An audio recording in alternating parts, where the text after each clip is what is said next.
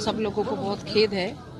और जिस तरह से ये जो हादसा, सड़क हादसा हुई, इसको लेकर के हमारी सरकार भी बहुत ज़्यादा शोक व्यक्त करते हैं।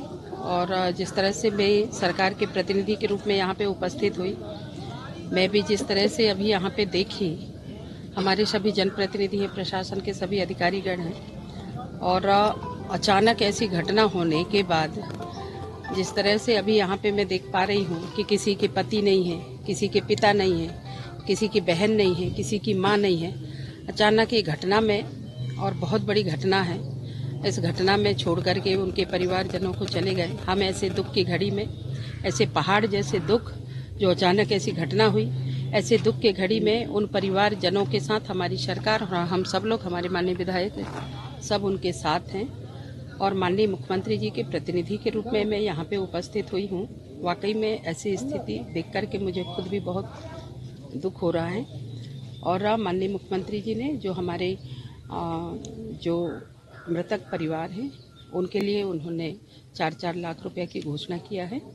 और जिला प्रशासन की ओर से रोगी कल्याण की तरफ़ से हमने बीस बीस हज़ार रुपया उनके परिवार को देने का घोषणा किया है। क्या जानकारी लगी हादसे की? कैसे हुआ ये हादसा? गाड़ी अन्यत्र हुआ है, ऐसा मुझे जो जानकारी लगी है क्योंकि ब्रेक फेल होती तो ब्रेक फेल होने से गाड़ी सीधे आगे बढ़ती। और जब पूरी चलती हुई आई गाड़ी और अचानक ऐसी घटना हुई है, उसकी हमने माननीय मुख्यमंत्री जी ने भी प्रशासन को निर्देश किए हैं कि उसकी उच्च स्तरीय जाँच हो और जो भी दोषी है तो उसके ऊपर कार्रवाई ओवरलोड भी हत्या का कारण हो सकता है।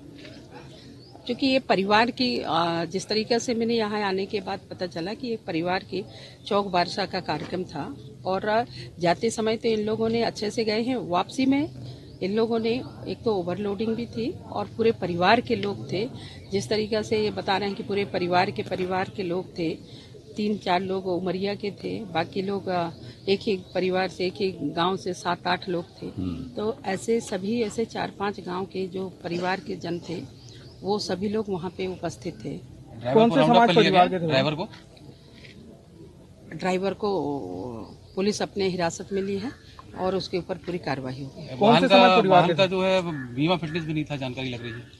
जो भी होगी उसमें ये जाँच का विषय है और जाँच करके उनके ऊपर बराबर उस पर कार्रवाई करेंगे और उच्च स्तरीय जाँच भी कराएँगे।